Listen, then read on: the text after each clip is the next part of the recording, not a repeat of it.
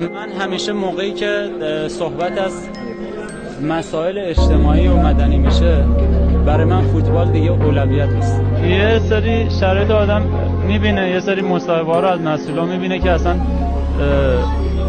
انگار به درد مردم به زخم مردم نمک میپاشن همه تحت فشارن یه چیزایی میگن که بدتر کنن شرایط. برای من خب اون زندگی اجتماعی جایگاهی که قرار گرفتم باید ازش استفاده کنم که صحبتی که اون هواداره ما میان تو استادیوم. با هزاران بدبختی. بلیت رو تهیه می‌کنن ما رو ما رو تشویق کنن. ما باید زبون اونا باشیم.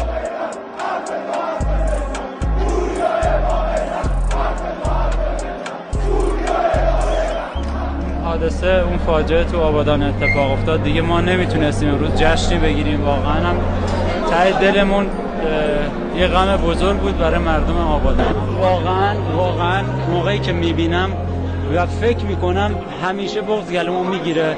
واقعا ناراحت میشم و کاری از دست آدم بر نمیاد. من نمی‌دونم اون مسئولین واقعا شرمنده نمیشن این موقعیت ها رو می‌بینن. این وضعیت رو می‌بینم. من می‌دونم الان تو اهواز خیلی درگیری ها هست خیلی مشکلات هست. خیلی اعتراض کردن فقط می‌خوام به اونایی بگم که سوء استفاده می‌کنن. می‌خوام می‌خوام می‌خوام بهشون بگم وطن فروش من نیستم تجزیه طلب من نیستم من یه جون دارم. هزاران بار فدای ایران می‌کنم. فیدبکشون نمیترسی چون دفعه چندمت بود. چرا باید بترسم؟ شاید الله مثلا یه عقبات چیز بدی نگفتم که بترسم. حرف حقه. عمرمون کوتاهه ما باید سعادتمند زندگی کنیم. این حق مردم ایرانی که سعادتمند زندگی کنیم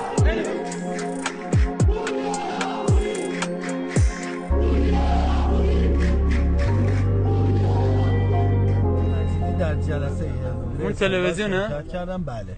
تلویزیون خاموش کن. چرا؟ من با تلویزیون حرف نمی‌زنم.